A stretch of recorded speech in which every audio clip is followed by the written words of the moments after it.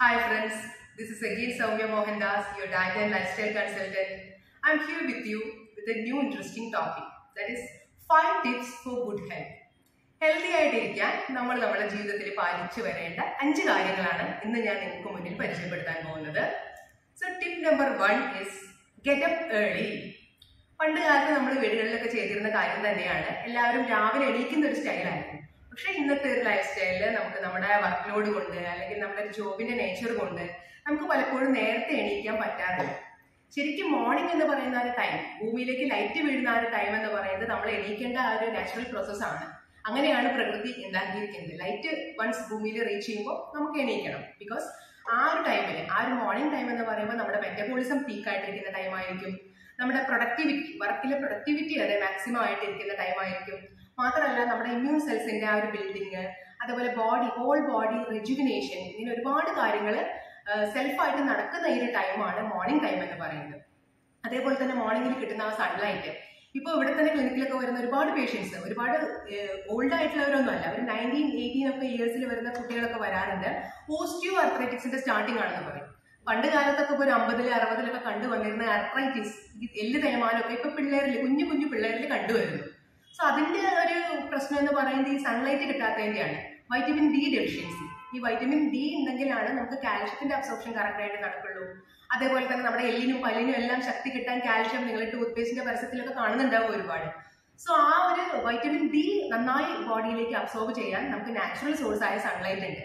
Morning sunlight എന്നാണ് morning and evening എന്ന് പറയും. രാവിലത്തെ കുറച്ച് നേരത്തെ ഒരു ഇളം അതേപോലെ തന്നെ ഈവനിങ്ങും ആ ഒരു ടൈമിലാണ് നമ്മുടെ ബോഡിയിലേക്ക് ഈ വൈറ്റമിൻ ഡിന്റെ അബ്സോർപ്ഷൻ നടക്കുക. സോ നമ്മളിപ്പോൾ മോർണിംഗിൽ എണീക്കാറില്ല വെയിലൊന്നും ആരും കാണാറില്ല. ആ ഒരു പത്ത് മണി അല്ലെങ്കിൽ ആ നേരത്താണ് എല്ലാവരും എണീക്കാറുള്ളത്. ഒരു ഏഴ് മണി വരെയുള്ള ഒരു വെയിൽ അതായത് ഒരു ആറ് തൊട്ട് ഏഴ് ഏഴര വരെയുള്ള ഒരു വെയിലൊന്നും കൊള്ളാൻ നമുക്ക് പറ്റാറില്ല. അതുകൊണ്ട് തന്നെ അങ്ങനെ ഡെഫിഷ്യൻസീസ് ഇപ്പോഴത്തെ ഒരു കാലഘട്ടത്തിൽ കൂടുതൽ കാണാറുണ്ട്. അതുകൊണ്ട് തന്നെ നമ്മുടെ ബോഡി റിജുവിനേഷൻ ബോഡിയുടെ റിജുവിനേഷന്റെ കാര്യത്തിലും ആ ഒരു അപാകത അല്ലെങ്കിൽ ആ ഒരു കുറവ് കാണാ കാണാറുണ്ട്. അതുകൊണ്ടാണ് വേക്കപ്പ് ഏർലി എന്ന് പറയുന്നത്. സോ നിങ്ങളിപ്പോ ഒരുപാട് വൈകിട്ട് എണീക്കുന്ന ഒരാളാണെങ്കിൽ സ്റ്റെപ്പ് ബൈ സ്റ്റെപ്പ് അത് ക്രമീകരിച്ച് കൊണ്ടുവരാവുന്നതാണ്. കാരണം ഇപ്പോ ഏഴരയ്ക്ക് എണീക്കുന്ന ഒരാളാണെങ്കിൽ നിങ്ങൾ അത് ഗ്രാജുവലി ഏഴ് മണിയാക്കും. പിന്നെ അതൊരു സിക്സ് തേർട്ടി അങ്ങനെ സിക്സ് തേർട്ടിയിൽ മെയിന്റെയിൻ ചെയ്ത് കൊണ്ടുപോകും. എന്തായാലും വേക്കപ്പ് ഏർലി കാരണം നിങ്ങൾക്ക് ഒരു ടു മന്ത്സ് ഇത് ഫോളോ ചെയ്താൽ നിങ്ങൾക്ക് തന്നെ നിങ്ങളുടെ ബോഡിയുടെ ആ ഒരു ചേഞ്ച് നിങ്ങൾക്ക് തന്നെ ഫീൽ ചെയ്യാൻ പറ്റും. Number two is eat mindfully നമ്മൾ കഴിക്കുന്ന ഭക്ഷണം അല്ലെ? അടുത്തത് ഞാൻ എന്റെ സബ്ജക്റ്റായ ഡയറ്റിലേക്ക് തന്നെയാണ് കൂടുതൽ വരുന്നത്. നമ്മൾ കഴിക്കുന്ന ഭക്ഷണം അമിതമായ രീതിക്ക് പോർഷൻ സൈസ് എല്ലാം കൺട്രോൾ ചെയ്ത് ഹെൽത്തി ആയിട്ടുള്ള പ്ലാൻ ബാലൻസ് ഡയറ്റിനെ കുറിച്ചൊക്കെ ഞാൻ മുന്നേ വന്ന വീഡിയോസിൽ പറഞ്ഞിരുന്നു. അതേപോലെ തന്നെ ഫുൾ എല്ലാ ഫുഡ് ഗ്രൂപ്പ്സിലത്തെ സാധനങ്ങളും ഇൻക്ലൂഡ് ചെയ്തിട്ടുള്ള ഒരു ഡയറ്റ് നിങ്ങൾ ഫോളോ ചെയ്യണം. കൃത്യമായിട്ട് തന്നെ ഫോളോ ചെയ്യണം. അതിൽ ഇപ്പോൾ പറയുകയാണെങ്കിൽ കൂടുതലും നിങ്ങൾ നമുക്ക് കിട്ടുന്ന സീസണലായിട്ട് അവൈലബിൾ ആയിട്ടുള്ള ഫ്രൂട്ട്സിന്റെയും വെജിറ്റബിൾസിന്റെയും ക്വാണ്ടിറ്റി കൂട്ടുക. അതേപോലെ തന്നെ നമ്മുടെ പ്രോസസ്ഡ് ആയിട്ടുള്ള ഫുഡ് ഇപ്പൊ ഞാനിവിടെ ഫ്രൂട്ട്സ് കഴിക്കണം ജ്യൂസ് കുടിക്കണം എന്നൊക്കെ പറയുമ്പോൾ ഒരു ക്യാൻ താഴെയുള്ള സൂപ്പർ മാർക്കറ്റിൽ നിന്ന് രണ്ട് മൂന്ന് ക്യാൻ ആയിട്ട് ആൾക്കാർ പോകുന്നത് കാണാം. സോ ഈ പാക്ഡ് ഫുഡ് ഐറ്റംസ് നിങ്ങൾ കഴിയുന്നത് ഒഴിവാക്കണം. ഈ ടെട്രാ പാക്സിലൊക്കെ വരുന്ന സാധനത്തിൽ എല്ലാം പ്രിസർവേറ്റീവ്സ് ഉണ്ട്. നൈട്രേറ്റ് പ്രിസർവേറ്റീവ്സ് ഉണ്ട്. നിങ്ങൾക്ക് വീട്ടിൽ തന്നെ നോക്കാം. നിങ്ങൾ വീട്ടിലൊരു ജ്യൂസ് അടിച്ച് നിങ്ങൾ പുറത്ത് രണ്ട് ദിവസം വെച്ചാൽ ഇല്ല. അതിന് കുപ്പലി പോലെ വന്നിട്ട് അത് കേടാവും. ബട്ട് നമ്മൾ ഈ പുറത്തുനിന്ന് മേടിക്കുന്ന പാക്കറ്റ്സ് ഒക്കെ എത്ര കാലം വേണമെങ്കിലും ഫ്രിഡ്ജിലൊന്നും വെക്കേണ്ട ആവശ്യമില്ല. പുറത്ത് തന്നെ വെച്ചാൽ അത് അതേപോലെ ഇരിക്കുന്നത് കാണാം. സോ നിങ്ങൾ പാക്ക് ഫുഡ് മാക്സിമം ഒഴിവാക്കുക. കുട്ടികളിൽ തന്നെ ഈ ഒരു ശീലം വളർത്തിയെടുക്കാതിരിക്കാൻ പ്രത്യേകം ശ്രമിക്കണം. കാരണം കുട്ടികളിലുമാണ് ഇപ്പം ഇങ്ങനത്തെ ഒരുപാട് ഡെഫിഷ്യൻസീസ് അതേപോലെ സ്ട്രെസ് ആൻസൈറ്റി ഡിപ്രഷൻ ഇതൊക്കെ കുട്ടികളിലാണ് കണ്ടുവരുന്നത്. നാല് വയസ്സ് തൊട്ടിട്ടുള്ള കുട്ടികളിൽ സ്കൂൾ ഗോയിങ് ആ ഏജിലുള്ള കുട്ടികളിലാണ് കണ്ടുവരുന്നത്. അതിന്റെ വൺ ഓഫ് ദ റീസൺ എന്ന് പറയുന്നത് ഈ ഹെൽത്തി ഫുഡ് ഹാബിറ്റ്സ് തന്നെയാണ്.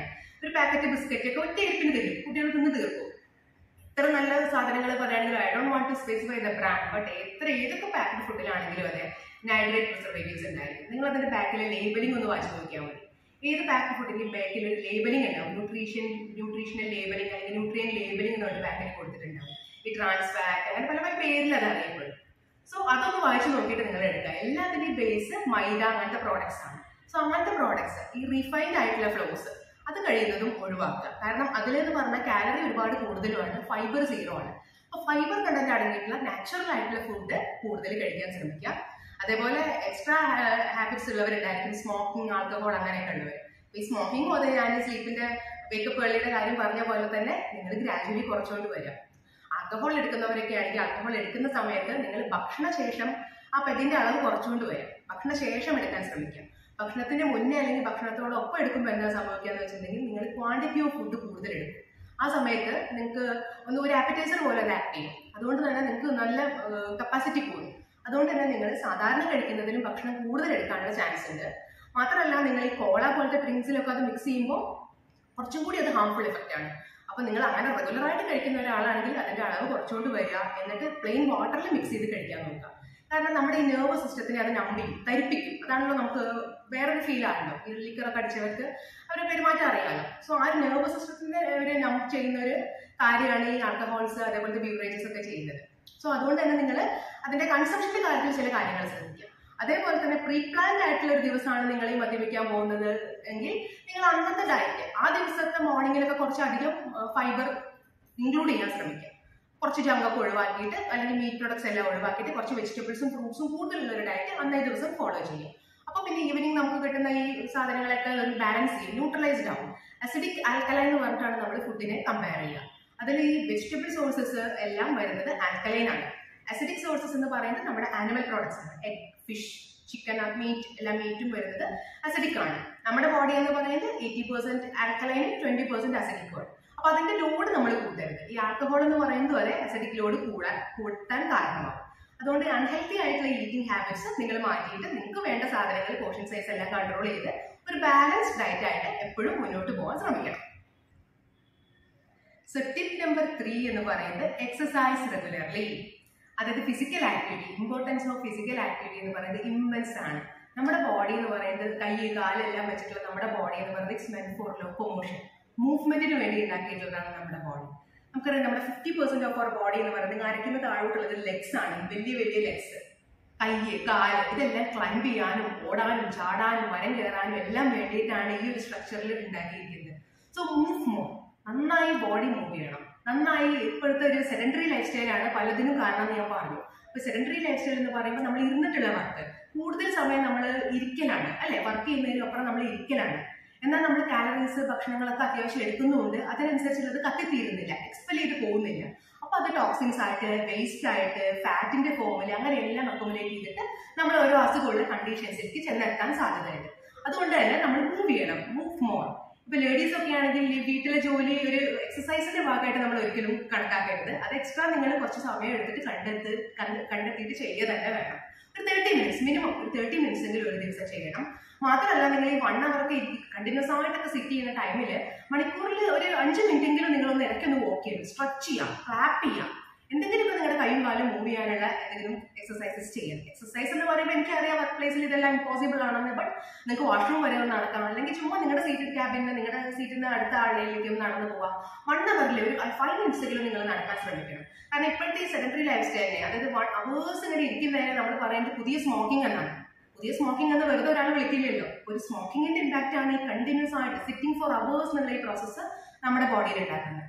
അതുകൊണ്ട് തന്നെ ഒരുപാട് നിങ്ങൾ മൂവ് ചെയ്യാൻ ശ്രമിക്കണം. ഇത് മാത്രമല്ല നമ്മുടെ ബോഡിയിലെ ഹാപ്പി ഹോർമോൺസ് എന്ന് പറയുന്ന ഓക്സിറ്റോസിൻ എൻഡോർഫിൻ സെറോട്ടോണിൻ ഡോപ്പമിൻ ഇതെല്ലാം ബോഡി സെക്രേറ്റ് ചെയ്യുക. വൺസ് അത് മൂവ് ചെയ്താൽ മാത്രമാണ്. എന്നാൽ മാത്രമേ അതിന് പറ്റുള്ളൂ. സോ അതിന്റെ ഒരു ബാലൻസിലൊക്കെയാണ് നമ്മുടെ ബോഡിയുടെ എല്ലാ ഹോർമോൺ മെക്കാനിസം അതേപോലെ ബോഡിയുടെ ഓൾട്ടുഗെദർ മെക്കാനിസം എല്ലാം സ്മൂത്ത് ആയിട്ട് ഫംഗ്ഷൻ ചെയ്ത് പോകണമെങ്കിൽ exercise is very very important നമ്മുടെ body fitness physical metabolism mental metabolism ഇതിനെല്ലാം ബൂസ്റ്റ് ചെയ്യാൻ എക്സസൈസ് കൂടിയേ തീരും അത് മാത്രമല്ല നമ്മളിപ്പോൾ ഇടയിൽ ബോറടിച്ചിരിക്കുമ്പോൾ അല്ലെങ്കിൽ ഒരു ടയർഡ്നെസ് തോന്നിക്കഴിഞ്ഞാൽ നമ്മൾ നേരെ പോയിട്ട് ഒരു കോഫി കുടിക്കുക ടീ കുടിക്കുക അങ്ങനത്തെ ഒക്കെ ഹാബിറ്റ് ഉണ്ട് പലർക്കും നിങ്ങളൊന്നും ചെയ്യണം നിങ്ങൾ ആ സ്റ്റെപ്പ് ഒന്ന് കയറി വന്ന് നോക്കി. അല്ലെങ്കിൽ ഒരു പത്ത് മിനിറ്റ് ഒന്ന് നടന്നു വന്ന് നോക്കി. അത്രയ്ക്ക് ആക്ടിവിറ്റീസ് നമ്മുടെ ബ്രെയിനിലൊക്കെ മാറും. ആ ഒരു മൂഡിനെസ് അല്ലെങ്കിൽ ആ ഒരു ഒരു ഉറക്കച്ചടവ് അതെല്ലാം മാറിക്കിട്ടും നമ്മളൊന്ന് വാക്ക് ചെയ്താൽ. ശരിക്കും പറയുകയാണെങ്കിൽ ഒരു മുപ്പത് മിനിറ്റ് നിങ്ങൾ നടന്നിട്ടുണ്ടെങ്കിൽ ഒരു ഒരു ആന്റി ഡിപ്രസന്റ് ഈക്വലന്റ് ആണ് പറയുന്നത്. അത്രയ്ക്ക് ഹോർമോണൽ ചേഞ്ചസ് നമ്മുടെ ബോഡിക്ക് ഉണ്ടാക്കാൻ പറ്റും ഒരു thirty minutes of brisk walk so അറിയാലോ ഞാൻ പറയേണ്ട കാര്യമില്ലല്ലോ ഫിസിക്കൽ ആക്ടിവിറ്റി നിങ്ങളുടെ ബോഡിയിൽ എന്തൊക്കെ മിറാക്കൽസ് ആണ് ചെയ്യുന്നത് ഇതൊക്കെ നിങ്ങൾ ചെയ്തു നോക്കൂ എന്നിട്ട് ഫീൽ ചെയ്യും.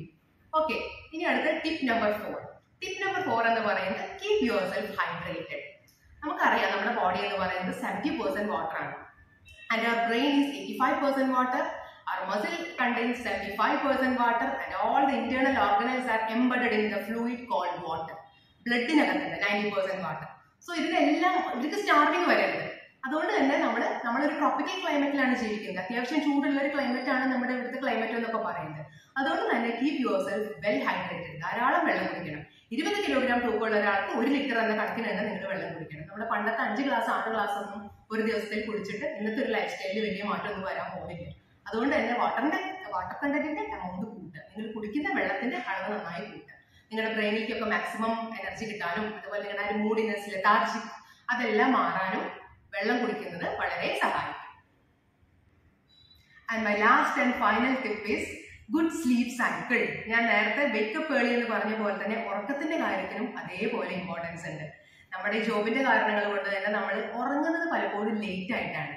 അപ്പൊ ഈ ലേറ്റ് സ്ലീപ്പിൽ വരുന്ന ഒരുപാട് ഹോർമോൺ ഇംബാലൻസസുകൾ ഉണ്ട് ഇപ്പൊ തന്നെ ഒരുപാട് പേർക്ക് അതെ വരുന്ന പേഷ്യൻസിന് കണ്ടറിയാം ഈ P C O S P C O D അതേപോലെ തൈറോയിഡിന്റെ ഇഷ്യൂസ് ഇപ്പൊ ഒരുപാട് പേർക്കുണ്ട്. ഇപ്പൊ കൂടുതലാണ്. പണ്ടത്തെ ഒരു നമ്പർ കമ്പയർ ചെയ്യുകയാണെങ്കിൽ ഒരു നാൽപ്പത് ശതമാനത്തോളം കൂടുതലാണ് ഇപ്പൊ ഈ P C O S patients അതുപോലെ മെറ്റബോളിക് ഡിസീസസ് എന്നാണ് ഇതിന് പറയാം. ഹോർമോണൽ റിലേറ്റഡ് മെറ്റബോളിക് ഡിസീസസ് ആയിട്ട് വരുന്നവർ ഒരുപാട് കൂടുതലാണ്. സോ അതിന്റെ അതൊക്കെ അതിന്റെ ഒരു കാരണം എന്ന് പറയുന്നത് ഇറഗുലർ ആയിട്ടുള്ള സ്ലീപ്പ് സൈക്കിളാണ് സൈക്കാഡിയൻ ഋത എന്ന് പറയും. നമ്മുടെ ഓരോ സെല്ലിനും our body is made up of around 100 trillion cells.